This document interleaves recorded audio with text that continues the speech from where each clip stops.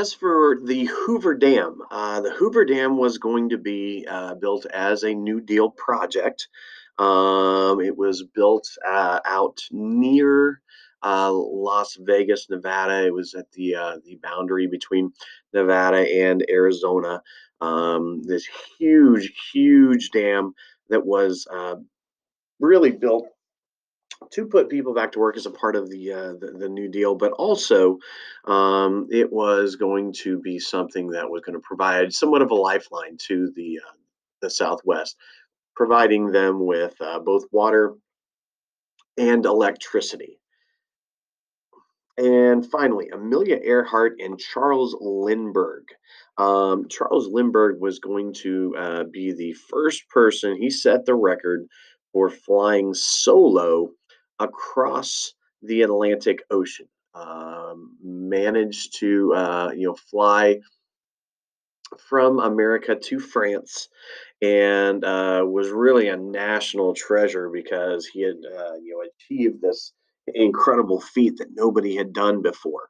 Um, so he was kind of like the first, uh, you know, one of the first real celebrities um, in U.S. Uh, history.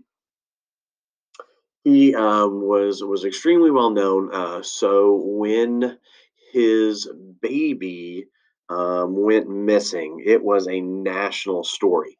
Uh, the the problem with it, the, the, the general belief was that his baby had been kidnapped, um, and the thinking was that well, he's going to be held for ransom.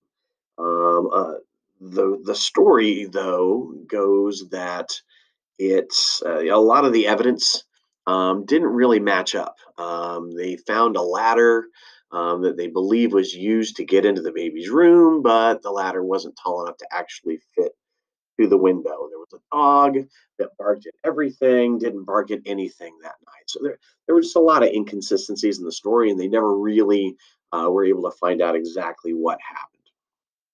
And then came along Amelia Earhart. Uh, Amelia Earhart wound up uh, matching um, and beating uh, Lindbergh's record. Uh, was the first woman to sl- uh, fly successfully uh, solo once again across the Atlantic Ocean. Uh, also returned uh, safely. it was really seen as a pioneer for for women in the 1930s because of what she was doing as a pilot. Oddly enough, um, the reason that she's she's uh, she she winds up dying um, is that she disappeared. Uh, she was flying and the flight just disappeared. Never really knew exactly what happened to it, uh, where it went down, how it went down. There are some theories. There are some people who, not too long ago, claim that they may have found evidence that the uh, the crash happened, maybe even that she survived it. Uh, but ultimately, we've never been able to definitively say exactly what happened to Amelia.